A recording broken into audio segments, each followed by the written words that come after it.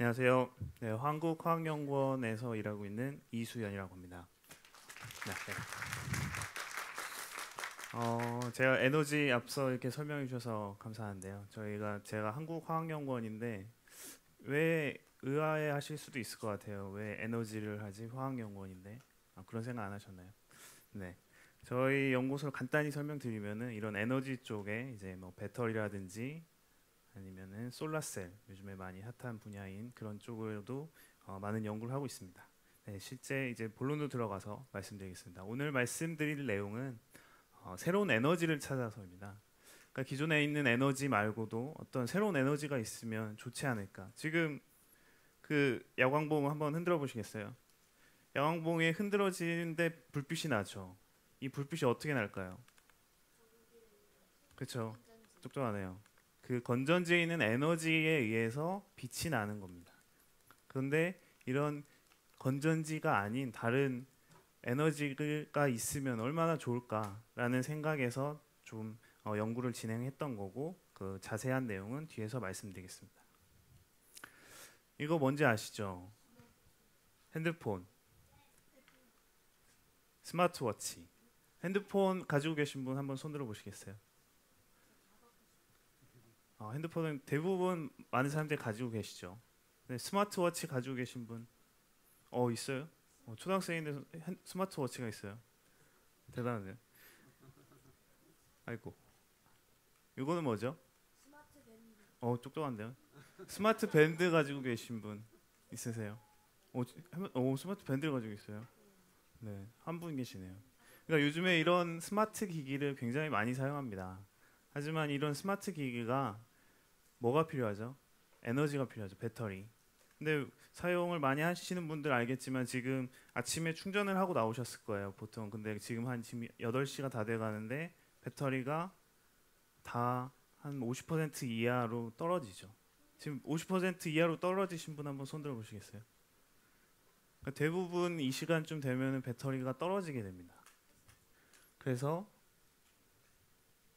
실제로 이게 S전자에서 이제 광고를 로 이제 나왔던 건데요.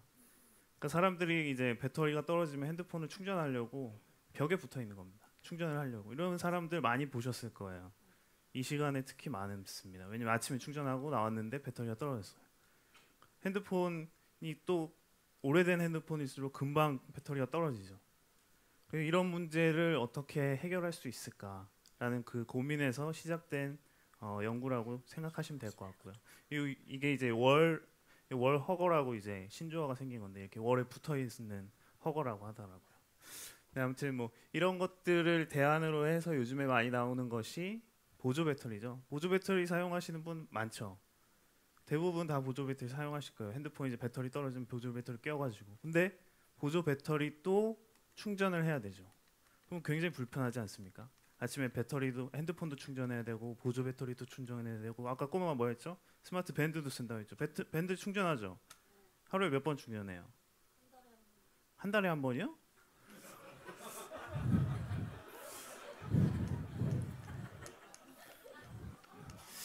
제가 발표하지 말아야 될 것 같습니다.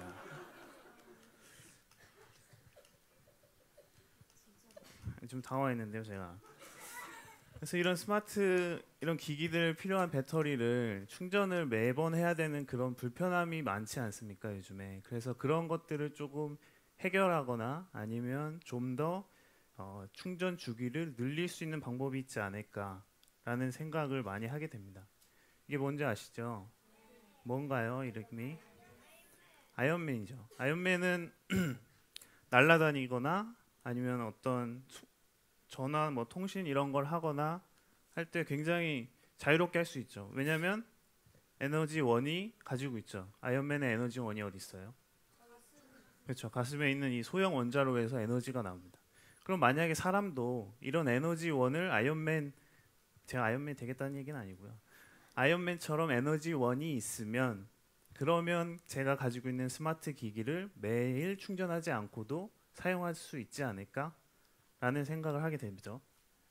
그래서 이렇게 쉽게 말씀드리면은 제가 이제 뒤에서 조금 더 자세하게 설명드리겠지만 제가 만든 그 소재를 스티커 많이 쓰시죠? 요즘에 스티커를 몸에 붙이는 것처럼 몸에 붙였을 때 사람이 걷거나 운동을 하거나 이럴 때 운동 에너지가 소모되죠.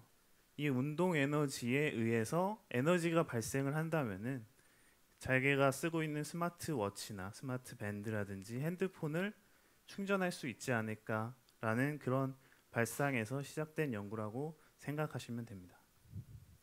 그래서 에너지 하베스팅 기술이라는 게 그래서 많이 요즘에 각광을 받고 있는데요. 그래서 오늘 돌아가실 때 제일 그냥 기억 하나 하시면 될 게 제일 중요한 거는 에너지 하베스팅 요거 하나만 기억하고 돌아가셔도 큰 수확이라고 할 수 있을 것 같아요. 에너지 하베스팅은 이제 기존에 이제 아이고 죄송합니다. 자연에서 이제 버려지는 뭐 바람이라든지 파도라든지 심지어 사람의 움직임 이런 것들을 이런 에너지 하베스터 가운데 있는 에너지 하베스터에 의해서 전기 에너지로 변환을 해준다면 실제로 어떤 센서라든지 뭐 맴스의 어떤 어, 부분이라든지 스마트워치, 셀폰, 랩탑까지도 어떻게 구동을 할 수 있지 않을까라는 것이 에너지 하베스팅 기술이라고 할 수 있습니다.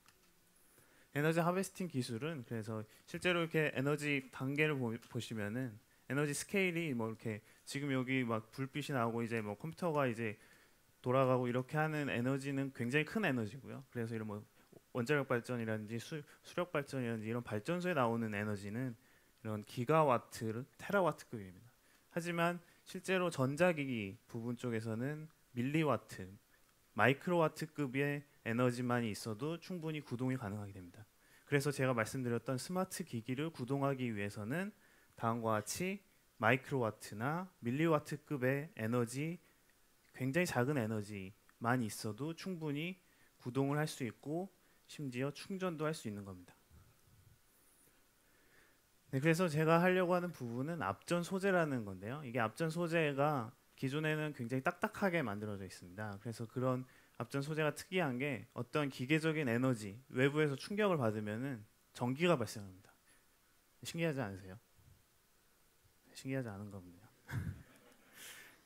그거 생활에서 많이 사용하고 있습니다. 사실 실제로 이제 라이터 같은 경우에 라이터 여기서 이제 뭐 어린이들이 많아서 담배를 안, 피, 안 피우시겠지만 라이터의 그 누르는 그 힘에 의해서 라이터를 분해해 보면 다음과 같이 이렇게 앞전 소재와 그 다음에 스프링 어떤 그 다음에 전선으로 연결되어 있습니다. 그러니까 이 누르는 그 힘에 의해서 여 안에 있는 이 앞전체가 전기를 발생하고 그것에 의해서 불이 켜지는 겁니다. 그래서 이런 앞전체를 만약에 아까 말씀드린 것처럼 스티커처럼 굉장히 유연하게 말랑말랑하게 만들 수 있으면 사람의 남았습니다. 몸에 네 감사합니다. 사람의 몸에 붙일 수가 있겠죠. 그래서 사람의 몸에 붙이게 되면 그것에 의해서 앞전 에너지를 말하는 소위 말하는 앞전 에너지를 만들게 됩니다. 그래서 제가 했던 부분은 이런 앞전 입자를 조금 빨리 말씀드리면 앞전 입자를 어, 탄성체라는 이제 말랑말랑한 고무랑 섞어서 다음과 같이 아이고, 앞전 입자를 섞어서 만들어서 저희가 이렇게 유연한 앞전 소재를 만들었습니다. 실제로 이렇게 제가 거짓말하는 것 같지만 실제로 보시면은 밴딩, 아이고, 밴딩 이렇게 구부렸습니다. 구부렸을 때 보시면은 어, 볼티지가 한 50볼트의 볼티지가 나오게 됩니다. 그리고 다시 회복했을 때 반대의 마이너스 50볼트가 나오게 됩니다. 그리고 전류도 마찬가지로 발생을 하고요. 그래서 거짓말하는 거라고 생각하실 수 있을 것 같아서 제가 동영상을 준비를 했는데요. 동영상 아그 다음에 나오는군요. 그래서 실제로 이렇게 에너지 발생하는 에너지를 요 작은 이렇게 에너지를 충전할 수 있는 곳에 모아서 스위치를 켜게 되면 다음과 같이 불빛이 켜지게 됩니다. 그리고 이렇게 그림에서 동영상을 보시면 아시겠지만 저게 구부러졌을 때 앞에 말씀드린 것처럼 구부러졌을 때 에너지가 한 번 발생하고 다시 펴졌을 때 에너지가 한 번 발생해서 다음과 같이 이렇게 LED K라는 값이 K라는 글자가 이렇게 밝아지게 되는 거. 이게 제가 이제 처음에 말씀드렸을 때 이걸 스티커처럼 몸에 붙인다면 에너지가 발생할 수 있을 거라고 했죠. 그래서 실제로 저희가 구현을 해본 것이 이렇게 아이고 죄송합니다. 팔꿈치랑 그다음에 이 손목에 붙였을 때 에너지가 발생하는 것을 확인했습니다. 요거 뭔지 아시죠? 마찰 전기. 그러니까 이 겨울 특히 요즘에 이제 옷을 벗을 때 막 이렇게 막 정전기 막 이- 일어나죠. 이런 마찰 전기도 앞서 이제 말씀드린 앞전 소재의 앞전 전기와 같이 이용할 수 있으면은 몸에서 에너지를 발생할 수 있을 것으로 생각을 해서 실제로 이게 제가 기억하기로 중학교인지 초등학교 교과서에 나오는 그림이에요 이게. 그래서 양전화가 되기 쉬운 물질하고 음전화 되기 쉬운 물질을 서로 문지르면 플러스 마이너스 전화가 생기죠. 그 전화에 의해서 이런 발전기를 만들 수가 있습니다. 그래서 실제로 저희가 만든 거고요. 이게 발전기를 양전화가 쉬운 물질, 음전화가 쉬운 물질을 서로 마찰을 해서 만들게 되면 다음과 같이 이런 마찰 전기 발전 소자를 개발할 수 있습니다. 실제로 제가 또 거짓말 안 하려고 동영상을 준비했어요. 그래서 보시면은 이 마찰 전기에 의해서 앞, 앞 앞에서는 K 하나였죠. 여기서는 지금 한 100여 개의 LED가 지금 켜지는 것을 볼 수 있습니다. 그리고 실제로 아까 아까 학생 스마트 밴드 뭐 써요? 미밴드 3요? 어, 좀 고급스네요. 이 미밴드 이게 one이거든요. 미밴드 one을 저희가 이게 충전을 이렇게 다음과 같이 충전을 했습니다. 그래서 앞서 그래서 압전 소재와 그다음 마찰 전기 소재를 이용해서 발전 소자를 만들었다는 것을 말씀드리겠습니다. 그래서 이런 것들 저희가 좀 운이 좋게 이게 언론에도 좀 보도가 됐습니다. 미래 사회를 생각해봤어요. 이렇게 실제로 이런 것들이 만약에 잘 개발이 되고 발전이 되면 이 웨어러블 기기가 굉장히 많이 이제 나올 거라고 예상을 해요. 그래서 뭐 구글 글래스라든지 아니 콘택트렌즈라든지 아니면 뭐 귀에 넣는 스마트 기기 이런 것들이 굉장히 많으니 사람이 이제 몸에 착용을 할 텐데 이거를 아까 말씀드린 것처럼 아침에 이거 하나 충전, 이거 하나 충전, 충전 매번 충전하기 굉장히 어렵겠죠. 불편하고 번거롭고 한번 한 까먹으면은 그날 쓸 수가 없고 그래서 그런 것들을 제가 개발하고 있는데 이게 지금 진짜 어디까지 될지 저도 잘 모르겠습니다. 근데 아무튼 제 희망컨대 그런 것을 구동할 수 있고 잘 작동할 수 있게끔 된다면은 다음과 같이 미래는 앞서 제가 보여드린 것처럼 사람이 일상생활에서 운동을 하거나 움직일 때 에너지가 발생을 해서 모여지고 그리고 자기가 사용하는 스마트 기기가 충전이 될 수 있을 거라고 생각합니다. 그리고 감사합니다. 실제로 이제 헬스케어 요즘에 많이 나오고 있는 이 헬스케어에서도 실제로 자기가 어, 시- 뭐 맥박이라든지 어떤 심전도가 문제가 있을 때 에너지가 이제 바로 바로 충전이 되기 때문에 핸드폰으로도 전송이 되고 이런 것이 미래 사회에서 이루어지지 않을까라고 저는 소망합니다. 여러분도 소망합니까? 네, 감사합니다.